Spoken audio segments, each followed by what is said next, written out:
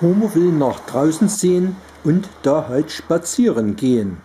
Er möchte beim Supermarkt vorbeilaufen und sich dort paar Bierchen kaufen.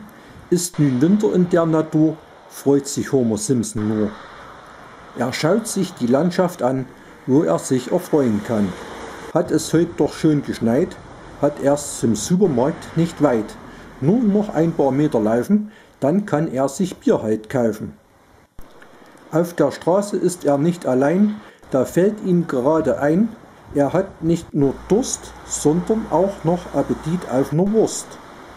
Er möchte nun ein Würstchen essen, da hat er doch das Geld vergessen, wenn er großen Hunger kriegt und das Geld zu Hause liegt. Hat Homer zwar das Bier und die Würstchen gesehen, muss er ohne das nach Hause gehen. Er hat trotzdem Spaß beim Spazieren hier, denn zu Hause steht noch Bier und muss auf die Straße achten, will er die Winterlandschaft so betrachten. Der Verkehr wird immer mehr. Will er über die Straße gehen, muss er nach links und rechts da sehen, wenn da viele Autos fahren, die alle schon im Supermarkt waren.